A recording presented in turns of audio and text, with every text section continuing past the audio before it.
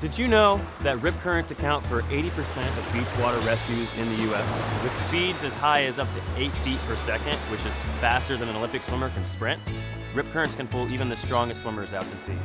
Learn how to break the grip of the rip. First, don't panic. Let the current take you out. Once it stops, swim parallel to the shoreline. You'll be able to escape the rip current and swim safely to shore.